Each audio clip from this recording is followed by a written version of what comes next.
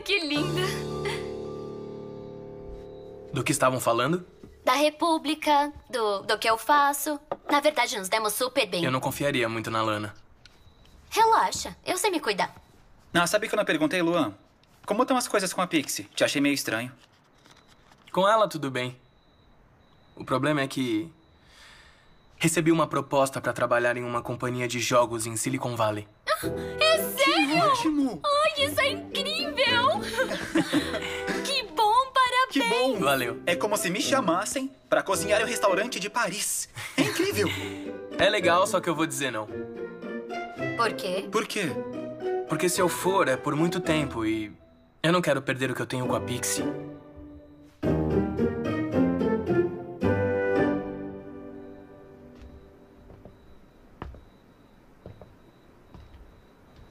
Você me disse que ia mudar. Que não ia me enganar mais. Não sei como você foi me convencer. Paula, por favor, deixa eu explicar. Não, não precisa. Já ficou claro. Mãe, mas escuta que ele tem uma explicação, tá? Você também sabia? Por que não me disse nada? Eu que pedi pro Alex não te contar.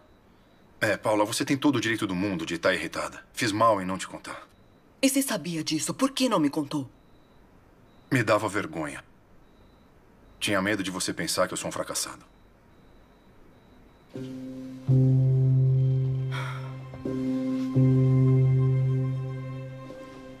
Tá bom.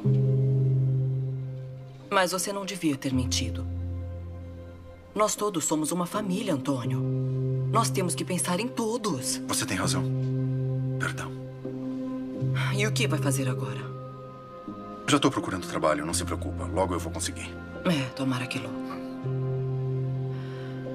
Bom, eu vou tomar um banho. Preciso relaxar um pouco.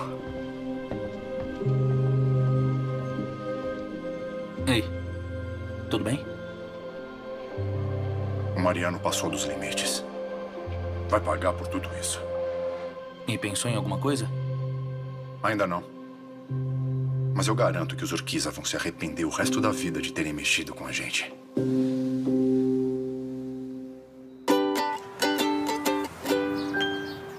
Mãe, você tem que conhecer a Doc. Ela é linda, vai se apaixonar. Já te disse, ela não sendo que nem o tornado, tá tudo bem. Não, nada a ver. Se comporta super bem. Parece de pelúcia. Não, não é de pelúcia. É um cachorro. Cachorro, com toda a responsabilidade que isso implica. Ah, já sei. Bom, depois eu trago. Já combinou com o veterinário? Já, já, eu liguei e fiquei de confirmar o horário mais tarde. Perfeito. E o papai, como tá? Você viu, né? Tudo isso do vídeo tá fazendo muito mal pra ele. E ontem à noite, O que foi? ele foi ver os Gutierrez. Por quê? Queria te defender.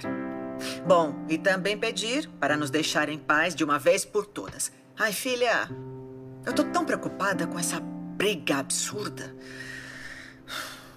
Desculpa, mãe. Eu não queria que passassem por isso. Desculpa. Não, não peça desculpa, não tem culpa de nada.